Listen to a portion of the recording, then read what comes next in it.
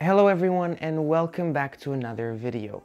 After previously seeing how the 2020 iPad might look like, we are going to take a look at how the iPhone SE2 will look like. We have the first leaked images of how it might look like from the source OnLeaks. We have been hearing a lot about it in the past few days but we only knew that the design would be similar to the one of the iPhone 8. OnLeaks has been leaking a lot lately and is beginning to get a very, very good track record. Today, he shared the iPhone SE2 or the iPhone 9 whichever name it will be. Some sources say that it will be the iPhone 9 and I'm starting to like it. It will make it feel more unique than if it was just iPhone SE 2. At first glance, it looks completely identical to the iPhone 8, but it isn't exactly the same. The device will be thicker, which might make the battery bigger and the performance much better, but we have no news about the battery. Apple did a similar thing on the iPhone 11 series where it is a little bit thicker, adding battery life and better performance. So does this mean that we could see this in the iPhone SE?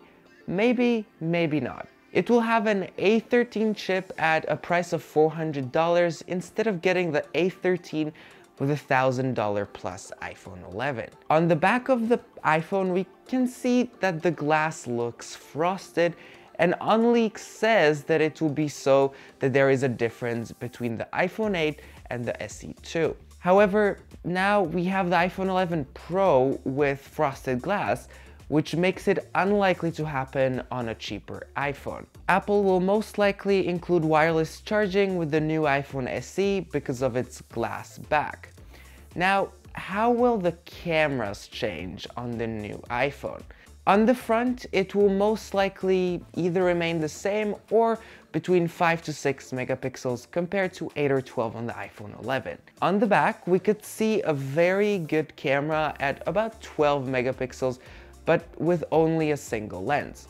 In terms of megapixels, it will be pretty much the same as on the iPhone 11, except it will have only one lens, making it a lower end camera with not so much functionality.